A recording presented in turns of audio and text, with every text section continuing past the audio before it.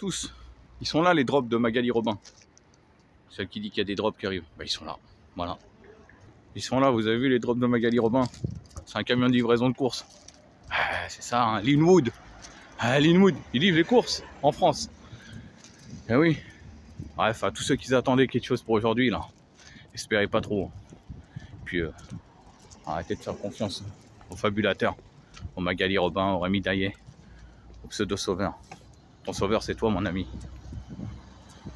Eh, les amis, tous ceux qui voulaient un sauveur, je crois que aujourd'hui, it's game over. Fin de partie, Trump, fin de partie. À ceux qui attendaient un sauveur, c'est mort. Comme je vous ai dit, sauvez-vous vous-même. Vous voulez vous sauver? Rendez-vous le 30 janvier à Paris, la France à Paris. Le 4 février à Paris, la masse. Voilà ce qui fera trembler le gouvernement. Comme en 2018. Ah ouais, c'est vous qui vous sauveront vous-même. Rejoignez la masse, faisant trembler le gouvernement comme en 2018, quand ils se sont chiés dessus. N'écoutez pas les Magali Robin et compagnie qui vous annoncent des sauveurs.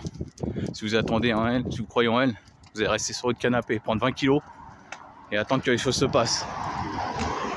Et à la fin, il se passera quoi? Il se passera que le gouvernement nous l'aura mis bien profond. Et pareil pour les Rémi Daillet.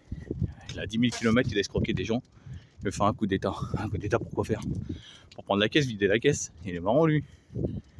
Il y a des gens qui croient en ces gens-là. arrêtez Arrêtez de croire en tout et n'importe quoi un peu. Putain, réveillez-vous. Nous sommes notre propre sauveur.